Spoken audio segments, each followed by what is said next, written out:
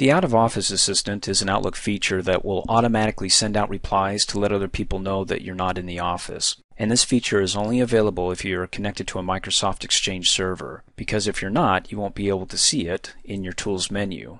Click on Tools and go down to Out of Office Assistant. Now by default it's turned off. It's not set up to automatically send out replies. But if you're going to go on vacation or you're going on a long extensive business trip and you don't have time to reply to anybody's emails, go ahead and select the option that you want to send out of office auto replies. And down below you have two different replies. You have one for the people inside your organization or your employees or your coworkers, and then those who are outside of your organization or not directly linked or connected to the Microsoft Exchange server. One, you can give them a little bit more razz about you being out of office. Maybe you're on vacation and just loving it, and then something more professional for those who aren't your coworkers. But first of all, you can either leave it by default here and just say you're indefinitely going to be out of the office or give it a time range. So let's say my vacation starts tomorrow, Thursday, at not 10 a.m., but we'll say 6 a.m. And then it'll end one week from today, the 28th, at 5 p.m. Now what that means is that in between these times, start and end times, anytime somebody sends me an email, they're automatically going to get a reply. What reply is that going to be? Well, I have to type it down below. So, first of all, those who are inside my organization, my coworkers, this is the reply I'm going to give them. Of course, you can apply formatting to your auto reply message here, and that's going to be for, again, my coworkers.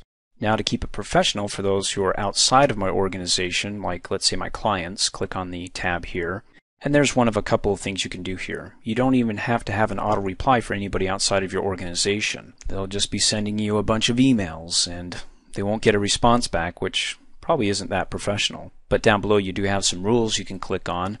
On these rules you can add a rule and say anytime I get an email from somebody, I want you to go ahead and send it to Carrie or somebody else that can help this person out. Of course, this can be a little bit redundant, especially if you have hundreds of clients. You don't want to select all the clients here. That could be a little bit intensive. Maybe there's some specific clients that will need particular attention. So you can go ahead and click on the From button. And your clients probably won't be listed in the global address list, but in your contacts folder here and double click on the contact, click OK. And if you specifically get an email from Jason, maybe he's a little bit worked up about some implementation program your company's working on, you want to go ahead and send that on to somebody else.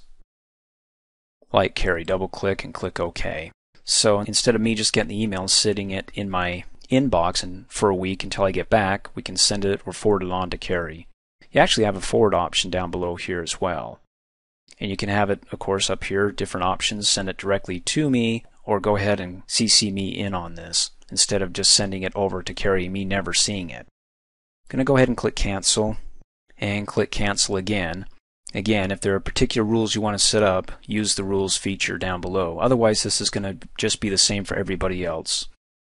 All the clients that sends me an email, I'm going to have the basic auto reply. And down below you get two options. You can have it just for your contacts that are listed in your contacts folder here, or just anyone outside of your organization.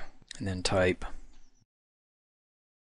in any case, once you're finished typing your message and you're satisfied with your internal organization replies to you being out of office and your clients on the outside, go ahead and click OK. Now, if you need to make any changes, like all of a sudden you're going to be out of the office today, you can go back up to the Tools menu and make your changes to Out of Office Assistant. And let's say I'm just not going to have a date when I'm going to be back. I just don't know. You can go ahead and uncheck that, and it will immediately apply obviously right now and indefinitely, or you can check the box and just have it, well, start today.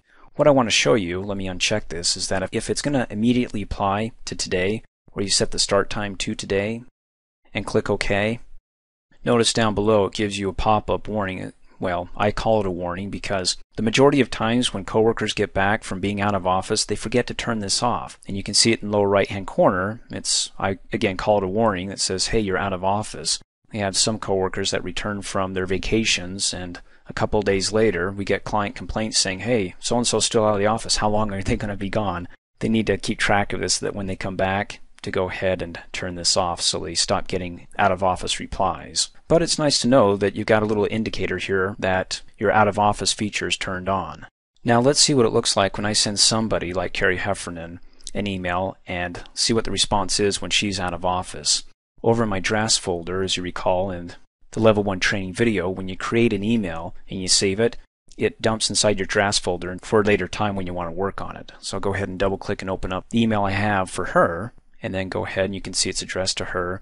Um, please call the family movie theater. We have an employee appreciation night. Go ahead and click send and let's see what the response is.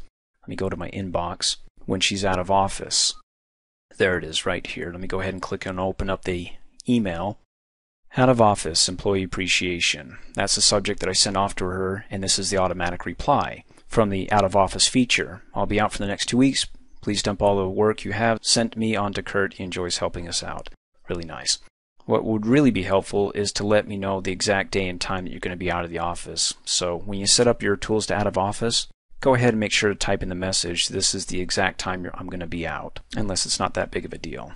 Now keep in mind, she's still going to get this message. It's just auto replying back to me. So if 100 people emailed her and her out of office assistant replied to all 100, she'll still have 100 original emails in her inbox when she gets back. This is simply and only a reply. And of course, you can see that the uh, icon has changed from an envelope to a little door saying, hey, I'm out of here, or whatever you'd like it to mean, out of office. And there's one of two ways to turn your out of office feature off. You can either come down here on the status bar and click on that feature and click and turn off out of office. When you click on it, give it a second or two and it's removed from your status bar letting you know that it's been turned off. Let's take a look. Tools to out of office assistant.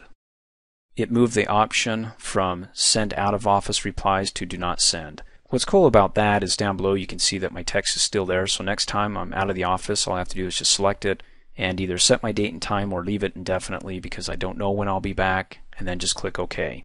And the same text I have from my inside and my outside organization that I typed when I first did my out of office is still there. So that's great, it'll save me some time.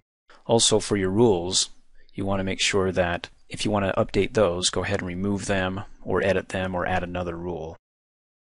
Thanks for watching. Hey, as a quick reminder, if you like my video, please give it a thumbs up. You can also click on me and subscribe to my channel, get notified of the latest videos, and for only $2 a month, you can have access to all my Microsoft Office training videos.